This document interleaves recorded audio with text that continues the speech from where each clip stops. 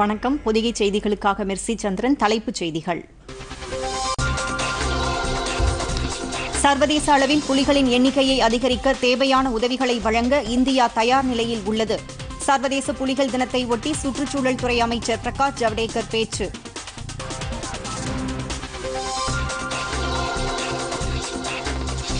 Corona தடுப்பு நடவடிக்கைகளில் India ஒரு உலகின் மருந்தகம் என்பதை நிரூபித்துள்ளது. மத்திய ரசாயனத்துறை அமைச்சர் சதானந்த கவுடா.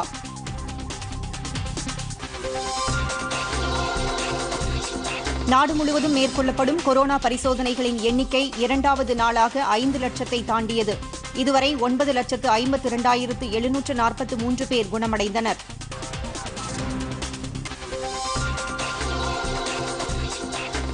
சென்னையில் நாள்தோறும் கொரோனா தொற்றால் பாதிக்கப்படுவோரின் எண்ணிக்கையை விட குணமடைந்தோர் அதிகரித்து வருகின்றனர். அமைச்சர் ஆர் பி உதயகுமார்.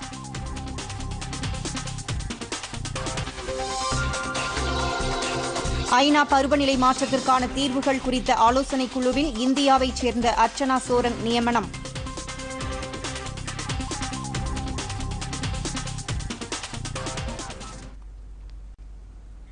இனி விரிவான செய்திகள். சர்வதேச அளவில் உள்ள ஒட்டுமொத்த புலிகளின் எண்ணிக்கையில் எழுபது சதவீதம் இந்தியாவில் உள்ளதாக சுற்றுச்சூழல் துறை அமைச்சர் பிரகாஷ் ஜவடேகர் தெரிவித்துள்ளார்.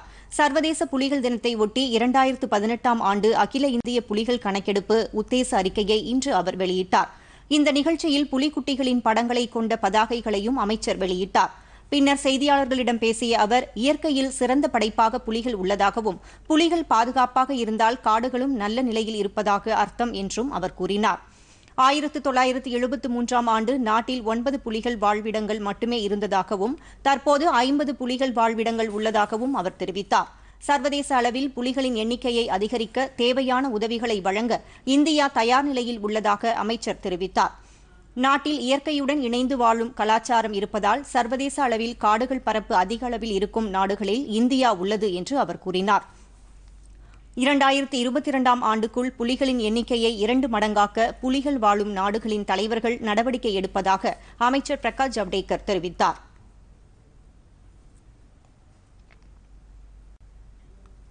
கல்லீரல் நோய் தொற்று இல்லாத எதிர்காலத்தை உருவாக்க அனைவரும் உறுதியுடன் பாடுபடுவோம் என்று மத்திய சுகாதாரத்துறை அமைச்சர் ஹர்ஷ்வர்தன் வலியுறுத்தியுள்ளார்.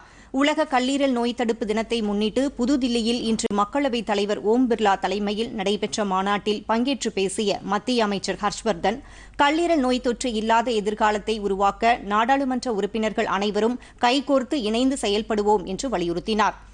கொரோனா தொற்றால் பாதிப்புகள் ஏற்பட்டுள்ள சூழ்நிலையில் கல்லீரல் நோய் தொற்று தொடர்பான விழிப்புணர்வுகள் ஏற்படுத்தப்பட வேண்டும் என்றும் கல்லீரல் பாதிப்பு உள்ளவர்கள் கொரோனா தொற்று காலத்தில் மிகவும் எச்சரிக்கையுடன் இருக்க வேண்டும் என்றும் கேட்டுக் கொண்டார் மத்திய அமைச்சர் ரவிசங்கர் பிரசாத் மற்றும் நாடாளுமன்ற உறுப்பினர்கள் பலர் இந்த மாநாட்டில் காணொலி காட்சி மூலம் பங்கேற்றனர்.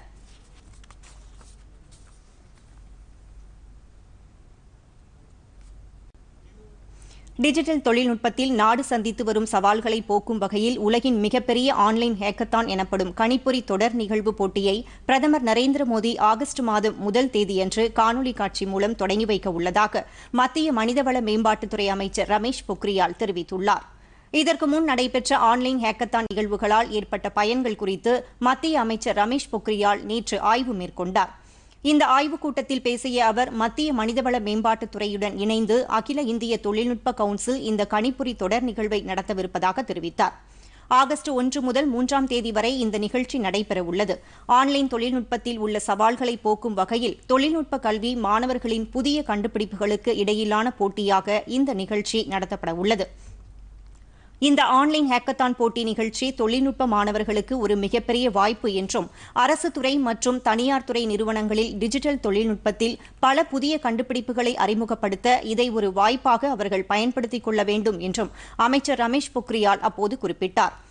இந்த ஆண்டிற்கான போட்டியில் பத்தாயிரத்திற்கும் மேற்பட்ட மாணவர்கள் பங்கேற்கவிருப்பதாகவும் முப்பத்தி ஏழு மத்திய அரசு துறை நிறுவனங்கள் பதினேழு மாநில அரசு துறை நிறுவனங்கள் மற்றும் இருபது தொழில் நிறுவனங்களில் நிலவும் இருநூற்று நாற்பத்து மூன்று தொழில்நுட்ப சவால்களுக்கு இந்த நிகழ்ச்சியின் மூலம் தீர்வு காணப்படும் என்றும் அவர் குறிப்பிட்டுள்ளார்.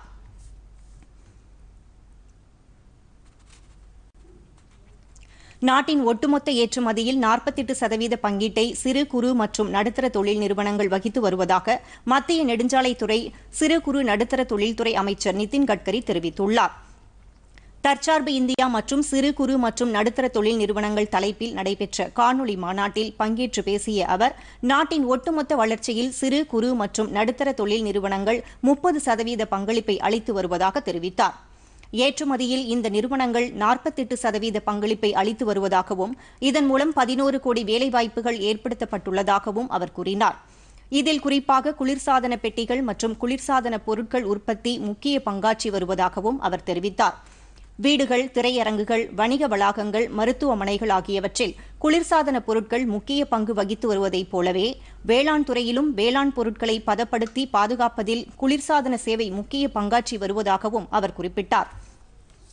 நாட்டில் வேளாண் உற்பத்தி அதிகரித்துள்ள போதிலும் தேவையான குளிர்பதன வசதிகள் இல்லை என்று தெரிவித்த அவர் இதனால் வேளாண் பொருளாதாரத்தில் தேக்கநிலை நிலவுவதாகவும் எனவே இதனை போக்க குளிர்பதன தொழில் நடைமுறைகள் விரிவுபடுத்தப்படும் என்றும் அவர் கூறினார். நாட்டின் பொருளாதாரத்தை மேம்படுத்த அறிவிக்கப்பட்டுள்ள இருபது லட்சம் கோடி ரூபாய் திட்டத்தில் சிறு குறு மற்றும் நடுத்தர தொழில் நிறுவனங்களின் வளர்ச்சிக்காக மூன்று புள்ளி எழுபது லட்சம் கோடி ரூபாய் ஒதுக்கப்பட்டுள்ளதாகவும் அமைச்சர் கட்கரி அப்போது குறிப்பிட்டார்.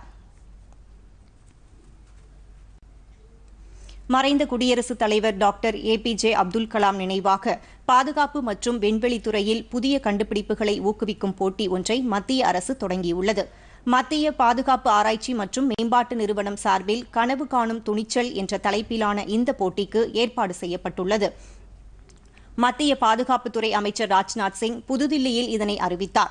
மறைந்த அப்துல் கலாமின் ஐந்தாம் ஆண்டு நினைவு தினத்தை முன்னிட்டு இந்த போட்டி அறிவிக்கப்பட்டுள்ளது.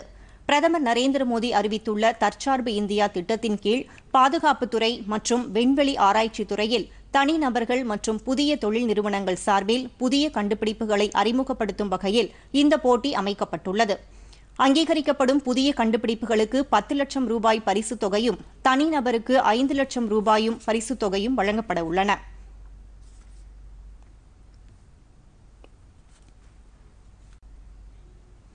கொரோனா தடுப்பு நடவடிக்கைகளில் இந்தியா ஒரு உலகின் மருந்தகம் என்பதை நிரூபித்துள்ளது என்று மத்திய ரசாயனம் மற்றும் உரத்துறை அமைச்சர் சதானந்த கவுடா தெரிவித்துள்ளார். உள்நாட்டில் மருந்துகள் மற்றும் மருத்துவ சாதனங்களின் உற்பத்தியை மேம்படுத்தும் நான்கு புதிய திட்டங்களை மத்திய ரசாயனம் மற்றும் உரத்துறை அமைச்சர் சதானந்த கவுடா நேற்று தொடங்கி வைத்தார். நிகழ்ச்சியில் பேசிய அவர் சுயசார்பு இந்தியா திட்டத்தின் கீழ் இந்தியாவை மருந்தியல் துறையில் சுயசார்புடைய நாடாக மாற்றுவதற்கு இந்த திட்டங்கள் உதவும் என்று தெரிவித்தார்.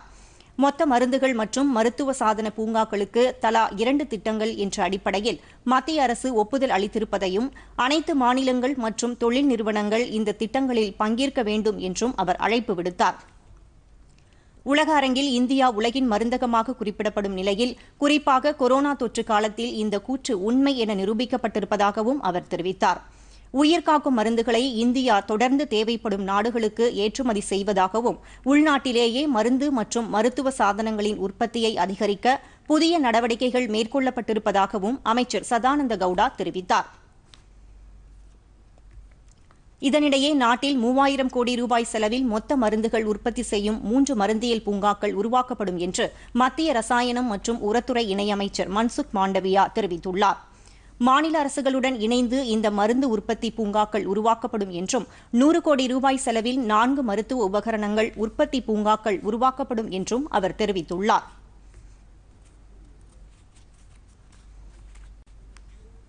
நாடு முழுவதும் மேற்கொள்ளப்படும் கொரோனா பரிசோதனைகளின் எண்ணிக்கை இரண்டாவது நாளாக ஐந்து லட்சத்தை தாண்டியது.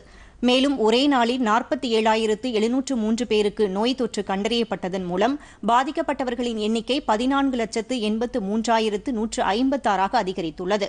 இதில் முப்பத்து மூன்றாயிரத்து நானூற்று இருபத்தைந்து பேர் உயிரிழந்த நிலையில் ஒன்பது லட்சத்து ஐம்பத்தி இரண்டாயிரத்து எழுநூற்று நாற்பத்து மூன்று பேர் குணமடைந்துள்ளதாக மத்திய சுகாதாரத்துறை அமைச்சகம் அறிவித்துள்ளது.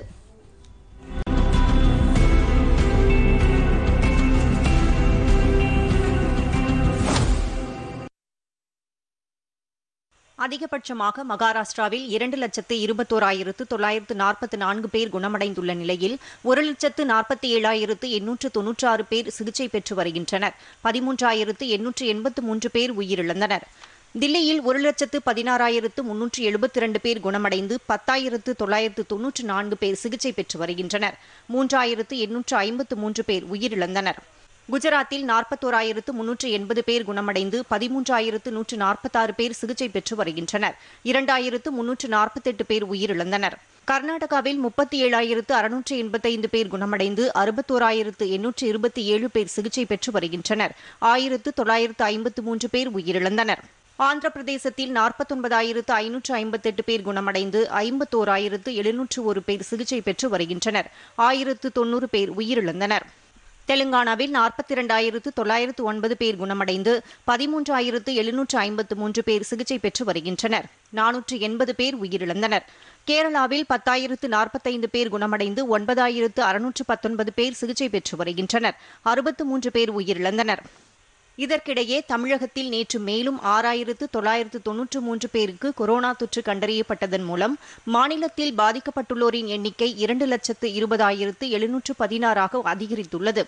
இதுகுறித்து மாநில மக்கள் நல்வாழ்வுத்துறை வெளியிட்டுள்ள அறிக்கையில் மேலும் ஐந்தாயிரத்து எழுநூற்று இருபத்தி மூன்று பேர் குணமடைந்ததன் மூலம் ஒட்டுமொத்தமாக ஒரு லட்சத்து அறுபத்தி இரண்டாயிரத்து இருநூற்று நாற்பத்தொன்பது பேர் குணமடைந்துள்ளதாக கூறப்பட்டுள்ளது.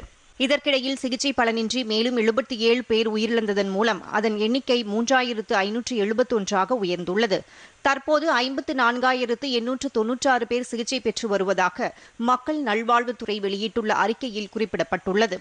சர்வதேச அளவில் ஒரு கோடியே அறுபத்தாறு லட்சத்து ஐம்பத்தி இரண்டாயிரத்திற்கும் மேற்பட்டோர் பாதிக்கப்பட்டு ஆறு லட்சத்து ஐம்பத்தாறாயிரத்து அறுநூற்று எழுபத்தெட்டு பேர் உயிரிழந்தனர். ஒரு கோடியே இரண்டு லட்சத்து நாற்பத்தி இரண்டாயிரத்திற்கும் மேற்பட்டோர் குணமடைந்துள்ளனர். அதிகபட்சமாக அமெரிக்காவில் நாற்பத்தி நான்கு லட்சத்து முப்பத்து மூன்றாயிரத்து நானூறுக்கும் மேற்பட்டோர் பாதிக்கப்பட்டு ஒரு லட்சத்து ஐம்பதாயிரத்து நானூற்று நாற்பத்தி நான்கு பேர் உயிரிழந்தனர். இருபத்தோரு லட்சத்து முப்பத்தாறாயிரத்து அறுநூறுக்கும் மேற்பட்டோர் குணமடைந்துள்ளனர். பிரேசிலில் இருபத்தி நான்கு லட்சத்து நாற்பத்தாறாயிரத்து முன்னூறுக்கும் மேற்பட்டோர் பாதிக்கப்பட்டு எண்பத்தி ஏழாயிரத்து எழுநூற்று முப்பத்தி ஏழு பேர் உயிரிழந்தனர். பதினாறு லட்சத்து அறுபத்தி ஏழாயிரத்து அறுநூறுக்கும் மேற்பட்டோர் குணமடைந்துள்ளனர். ரஷ்யாவில் எட்டு லட்சத்து பதினெட்டாயிரத்திற்கும் மேற்பட்டோர் பாதிக்கப்பட்டு பதிமூன்றாயிரத்து முன்னூற்று ஐம்பத்து நான்கு பேர் உயிரிழந்தனர். ஆறு லட்சத்து மூன்றாயிரத்து முன்னூறுக்கும் மேற்பட்டோர் குணமடைந்துள்ளதாக தகவல்கள் தெரிவிக்கின்றன.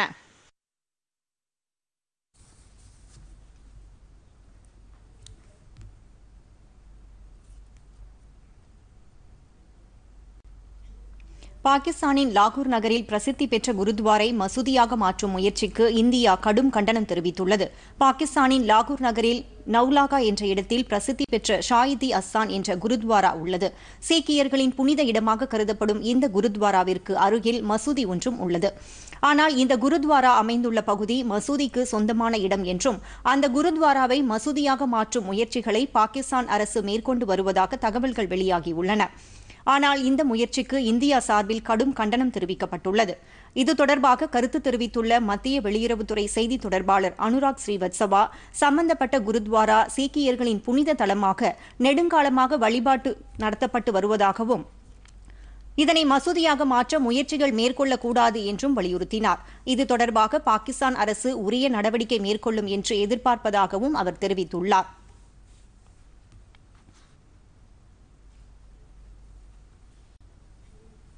இந்தியாவில் கொரோனா பரிசோதனைகளை முப்பது வினாடிகளில் துரிதமாக கண்டறியும் ஆராய்ச்சியில் இந்தியா இஸ்ரேலிய விஞ்ஞானிகள் கூட்டாக ஈடுபட உள்ளனர். இதற்காக இஸ்ரேல் விஞ்ஞானிகள் குழு இந்தியா வந்துள்ளது.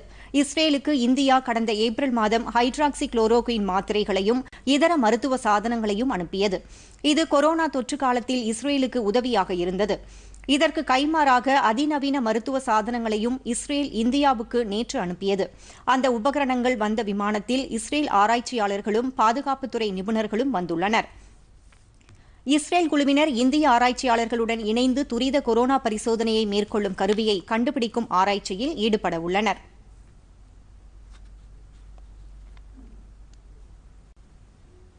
ராஜஸ்தானில் மீண்டும் முதலமைச்சர் அசோக் கெலாட் தலைமையில் இன்று அமைச்சரவை கூட்டம் நடைபெற்றது. ராஜஸ்தானில் முதல்வர் அசோக் கெலாட்டிற்கு எதிராக துணை முதல்வராக இருந்த சச்சின் பைலட் மற்றும் அவரது ஆதரவு எம்எல்ஏக்கள் பதினெட்டு பேர் போர்க்கொடி தூக்கினர். இதையடுத்து அவர்களின் பதவிகளை ராஜஸ்தான் காங்கிரஸ் பறித்தது. கெலாட் அரசு பெரும்பான்மை இழந்து விட்டதாக எதிர்க்கட்சியான பிஜேபி குற்றம் சாட்டியது. இதனால் சட்டசபை சிறப்பு கூட்டத்தை கூட்டுவதற்கு ஆளுநர் கல்ராஜ் மிஸ்ராவிடம் ராஜஸ்தான் அமைச்சரவை அனுமதி கோரியது. ஆனால் இந்த மனுவை ஆளுநர் கல்ராஜ் மிஸ்ரா திருப்பி அனுப்பினார். இந்த சட்டப்பேரவை கூட்டத்தை கூட்டுவது குறித்து ஏற்கனவே அமைச்சரவை அடங்கிய பரிந்துரையை திருப்பி அனுப்பியபோது ஆளுநர் எழுப்பிய சாராம்சங்கள் குறித்து இன்றைய கூட்டத்தில் ஆலோசனை நடைபெற்றதாக செய்திகள் தெரிவிக்கின்றன. முன்னதாக ராஜஸ்தான் அரசியல் நிலவரம் குறித்து பிரதமர் நரேந்திர மோடியிடம் மாநில முதல்வர் அசோக் கெலாட் நேற்று பேசினார். இந்த விவகாரம் குறித்து பரிசீலிப்பதாக பிரதமர் உறுதி அளித்துள்ளதாக கெலாட் தெரிவித்துள்ளார்.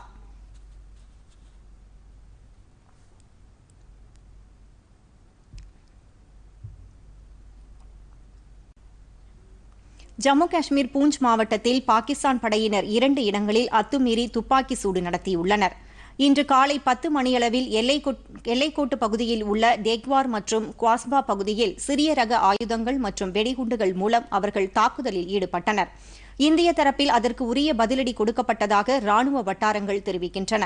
எனினும் சேதம் குறித்த விவரங்கள் ஏதும் இதுவரை கிடைக்கப்பெறவில்லை. கடந்த ஒரு வார காலத்தில் இருபதுக்கும் மேற்பட்ட முறை பாகிஸ்தான் படையினர் துப்பாக்கி சூடு நடத்தியுள்ளனர். நேற்று மேன்கோட் மற்றும் மென்டார் பகுதிகளில் கத்வா மாவட்டத்தில் ஹிராங்கர் பகுதியில் உள்ள சர்வதேச எல்லையிலும் தாக்குதல் நடத்தினார்கள். இதில் ஒரு வீடு சேதமடைந்த நிலையில் அங்கிருந்த விலங்குகள் காயமடைந்தன. சிறிய இடைவேளைக்கு பிறகு செய்திகள் தொடரும். பொதிகை செய்தி பிரிவு வழங்கும் புதிய வெளிச்சம். இன்றைய நிகழ்ச்சியில் வங்கிகளின் வாரா கடன் சுமை பங்கேற்கிறார்கள் பொதுச் செயலாளர் என். ராஜகோபால் இந்திய வங்கி ஊழியர்கள் கூட்டமைப்பு மற்றும் ஆர். வெங்கடேஷ் மூத்த பத்திரிகையாளர். கலந்துரையாடுகிறார் நா. ஜெகநாத். இன்று இரவு ஏழு முப்பது மணிக்கு நமது பொதிகையில் காண தவறாதீர்கள் புதிய வெளிச்சம். ஈரோடு மாவட்டம் பவானிசாகர் அணையில் இருந்து முதல் போக பாசனத்திற்கு வரும் ஒன்றாம் தேதி முதல் தண்ணீர் திறந்துவிட முதலமைச்சர் எடப்பாடி பழனிசாமி உத்தரவிட்டுள்ளார். கொடிவேரி விவசாய பெருமக்களிடமிருந்து கோரிக்கைகள் வந்துள்ளதை அடுத்து பவானிசாகர் அணையில் இருந்து அரக்கன்கோட்டை மற்றும் தடப்பள்ளி வாய்க்கால் பகுதியில் இருந்து இருபத்தி நான்காயிரத்து ஐநூற்று நான்கு ஏக்கர் பாசன நிலங்கள் பயன்பெறும் வகையில் வரும் ஒன்றாம் தேதி வரை நவம்பர் மாதம் இருபத்தெட்டாம் தேதி வரை தண்ணீர் திறந்தப்படும் திறந்துவிடப்படும் என முதலமைச்சர் அறிவித்துள்ளார்.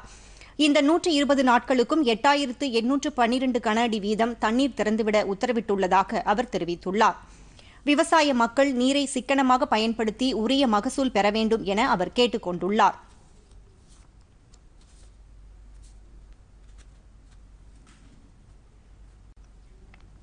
சென்னையில் கொரோனா தொற்று குறைவதற்கு களப்பணியாளர்களின் பணி மகத்தானது என்று வருவாய்த்துறை அமைச்சர் ஆர் பி உதயகுமார் தெரிவித்துள்ளார். சென்னை கொளத்தூரில் கொரோனா தடுப்பு பணிகளை மாநில வருவாய் மற்றும் பேரிடர் மேலாண்மைத்துறை அமைச்சர் ஆர் பி உதயகுமார் இன்று நேரில் பார்வையிட்டார். கொளத்தூரில் கொரோனா தடுப்பு பணிகளை மேற்கொள்ளும் இருநூறுக்கும் மேற்பட்ட களப்பணியாளர்களுடன் அவர் கலந்துரையாடினார். பின்னர் செய்தியாளர்களிடம் பேசிய அவர் தமிழ்நாடு முதலமைச்சரின் பன்முக போர்க்கால நடவடிக்கைகளால் சென்னையில் கொரோனா தொற்று கட்டுக்குள் கொண்டுவரப்பட்டுள்ளதாக குறிப்பிட்டார். நாளுக்கு நாள் பரிசோதனைகளின் எண்ணிக்கை அதிகரிக்கப்பட்டு தொற்று எண்ணிக்கை குறைந்துள்ளதாக அவர் தெரிவித்தார். நாள்தோறும் தினசரி தொற்று எண்ணிக்கையை விட குணமடைந்தோரின் எண்ணிக்கை அதிகரித்து வருவதாக அவர் கூறினார். மத்திய அரசின் வழிகாட்டுதலின்படி அலோபதி சித்தா ஹோமியோபதி உள்ளிட்ட மருத்துவ முறைகளில் சிகிச்சை வழங்கப்படுவதாக அவர் கூறினார். இந்த மருந்துகள் தொடர்ந்து பொதுமக்களுக்கு வழங்கப்படுவதுடன் அனைத்து இடங்களிலும் மருத்துவ முகாம்கள் நடத்தப்படுவதாகவும் அமைச்சர் கூறினார்.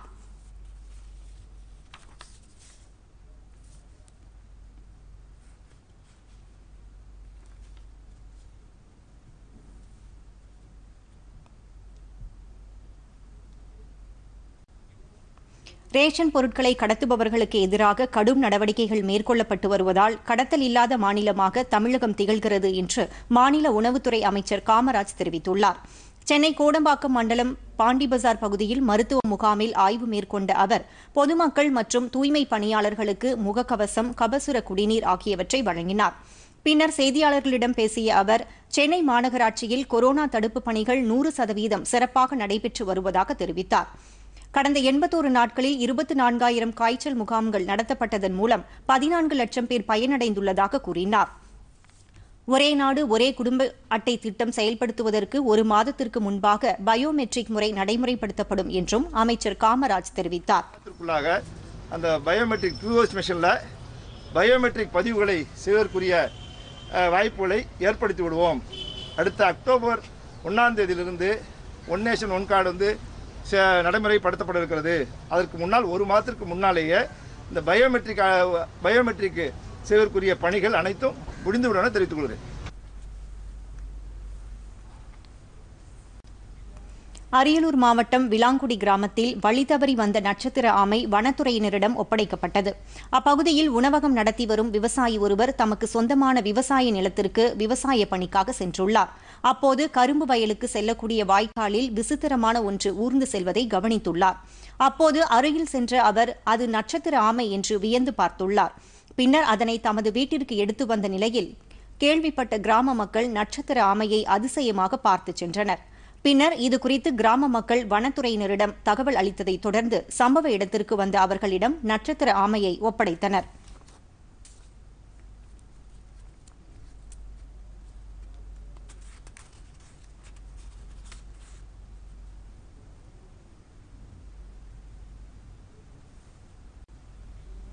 தமிழகத்தில் கொரோனா ஊரடங்கால் பாதிக்கப்பட்டுள்ள மலைவாழ் மற்றும் பழங்குடியின மக்கள் வசிக்கும் பகுதிகளுக்கு அதிகாரிகள் சென்று ஆய்வு செய்த பிறகு உரிய நிவாரணம் வழங்க வேண்டும் என்று சென்னை உயர்நீதிமன்றம் உத்தரவிட்டுள்ளது.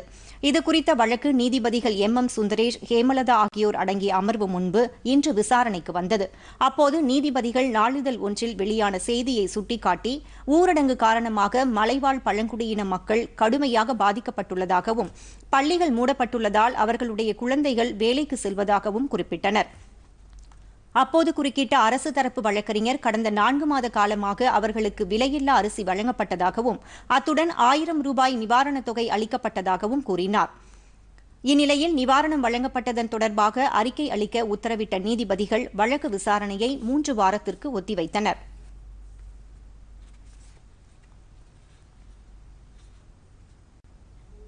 ஆப்கானிஸ்தானில் நடப்பாண்டில் கடந்த மாதம் வரை அங்குள்ள சீக்கியர்கள் மற்றும் பிற சிறுபான்மை மதத்தினர் மீது ஐஎஸ் தீவிரவாதிகள் நடத்திய தாக்குதலில் மூன்றாயிரத்து நானூறுக்கும் மேற்பட்டோர் பாதிக்கப்பட்டுள்ளனர்.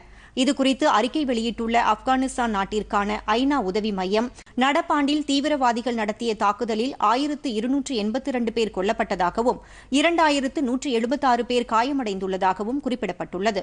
இதன் மூலம் மூன்றாயிரத்து நானூற்று ஐம்பத்தெட்டு பேர் பாதிக்கப்பட்டுள்ளதாக ஐநா அறிக்கையில் தெரிவிக்கப்பட்டுள்ளது. சீக்கியர்கள் மற்றும் ஷியா பிரிவு இஸ்லாமியர்கள் மீது தாக்குதல் நடத்தப்பட்டு வருவதாகவும் கூறப்பட்டுள்ளது. தீவிரவாதிகள் மீது ஆப்கன் பாதுகாப்பு படையினர் நடத்திய தாக்குதல் மூலம் இருபத்தி மூன்று சதவீத அளவிற்கு பொதுமக்கள் பாதிக்கப்பட்டுள்ளதாகவும் ஐநா அறிக்கையில் குறிப்பிடப்பட்டுள்ளது.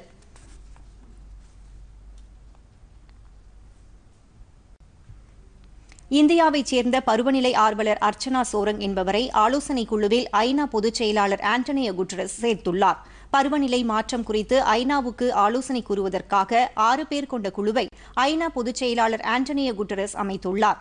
இதில் இடம்பெற்றுள்ள அனைவருமே பதினெட்டு வயது முதல் இருபத்தெட்டு வயதுடையவர்கள். இதில் இந்தியாவைச் சேர்ந்த அர்ச்சனா சோரங் இடம்பெற்றுள்ளார். இவர் ஆராய்ச்சி மற்றும் ஆலோசனை வழங்குவதில் அனுபவம் வாய்ந்தவர் என ஐநா வெளியிட்டுள்ள அறிக்கையில் தெரிவித்துள்ளது. இந்த குழுவினர் பருவநிலை மாற்ற பிரச்சினைகளுக்கான தீர்வுகள் குறித்த ஆலோசனைகளை ஐநா பொதுச் செயலாளருக்கு வழங்குவர்.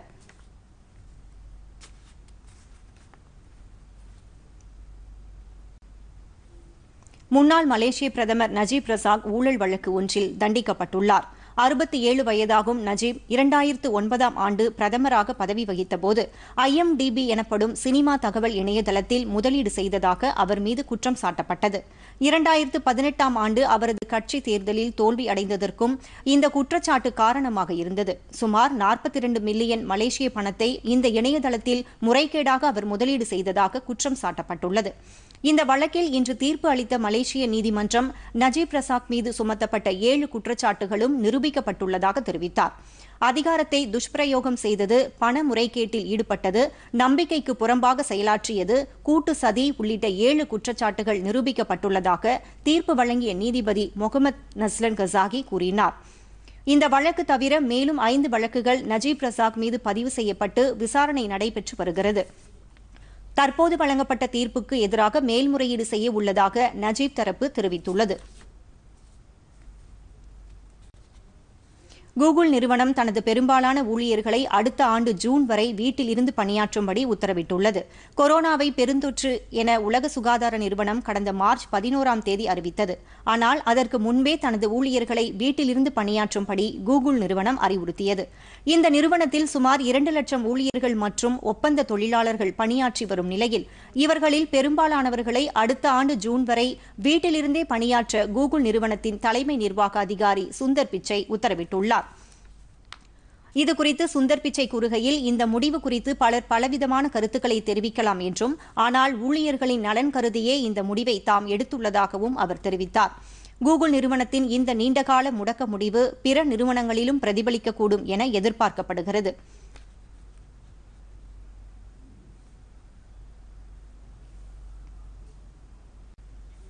இரண்டாயிரத்து இருபத்தி மூன்றாம் ஆண்டிற்கான உலகக்கோப்பை ஒருநாள் கிரிக்கெட் போட்டிக்கான தகுதிச் சுற்று சூப்பர் லீக் போட்டிகள் வருகிற முப்பதாம் தேதி தொடங்கும் என்று சர்வதேச கிரிக்கெட் கட்டுப்பாட்டு வாரியம் அறிவித்துள்ளது. பதிமூன்றாவது ஒருநாள் உலகக்கோப்பை கிரிக்கெட் போட்டிகள் இரண்டாயிரத்து இருபத்தி மூன்றாம் ஆண்டு அக்டோபர் மற்றும் நவம்பர் மாதங்களில் இந்தியாவில் நடைபெறுகிறது. மொத்தம் பத்து அணிகள் பங்கேற்கும் இந்த போட்டிக்கான தகுதிச் சுற்று சூப்பர் லீக் ஆட்டங்களில் முதல் எட்டு இடங்களை பிடிக்கும் அணிகள் நேரடியாக தகுதி பெறும். இந்த போட்டித் தொடரில் India Australia England Afghanistan Bangladesh New Zealand Pakistan தென்னாப்பிரிக்கா Ilangai West Indies Zimbabwe Ireland மற்றும் நெதர்லாந்து ஆகிய பதிமூன்று அணிகள் தகுதிச் சுற்று போட்டிகளில் பங்கேற்கின்றன. இந்த சூப்பர் லீக் தகுதிச் சுற்று போட்டிகள் கடந்த மே மாதம் தொடங்க முடிவு செய்யப்பட்டிருந்தது. ஆனால் கொரோனா தொற்று பிரச்சினை காரணமாக போட்டியை தொடங்குவதில் காலதாமதம் ஏற்பட்டது. தற்போது இந்த சூப்பர் லீக் போட்டிகள் வருகிற முப்பதாம் தேதி தொடங்கும் என ஐசிசி அறிவித்துள்ளது.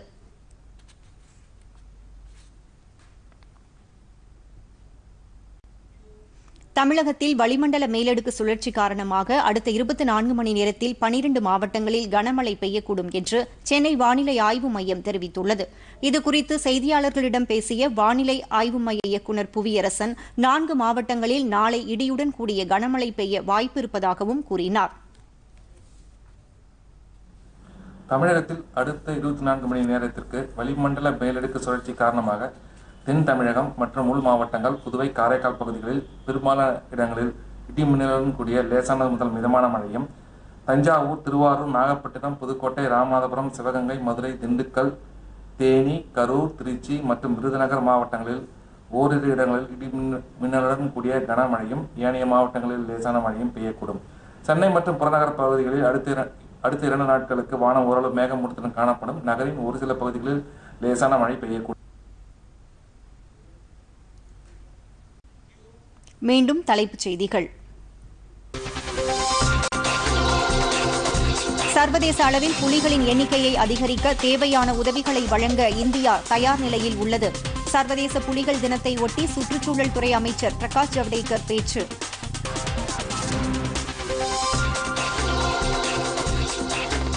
கொரோனா தடுப்பு நடவடிக்கைகளில் இந்தியா ஒரு உலகின் மருந்தகம் என்பதை நிரூபித்துள்ளது. மத்திய ரசாயனத்துறை அமைச்சர் சதானந்த கவுடா.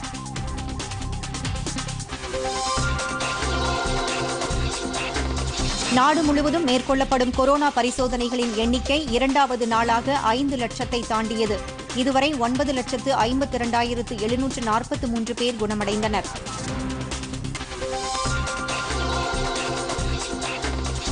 சென்னையில் நாள்தோறும் கொரோனா தொற்றால் பாதிக்கப்படுவோரின் எண்ணிக்கையை விட குணமடைந்தோர் அதிகரித்து வருகின்றனர். அமைச்சர் ஆர் பி உதயகுமார்.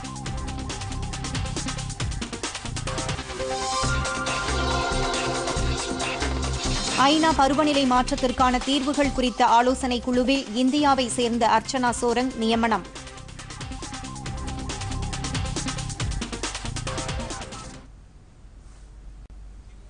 பொதிகை செய்திகளை யூடியூபில் தமிழ் நியூஸ் தூர்தர்ஷன் என்ற சேனலிலும் முகநூலில் டிடி பொதிகை நியூஸ் என்ற பக்கத்திலும் ட்விட்டரில் டிடி நியூஸ் சென்னை என்ற பக்கத்திலும் இன்ஸ்டாகிராமில் டிடி பொதிகை நியூஸ் என்ற பக்கத்திலும் காணலாம். மேலும் உங்கள் கருத்துக்களை Podhigai DD news at Gmail dot com என்ற மின் அஞ்சலில் தெரிவிக்கலாம்.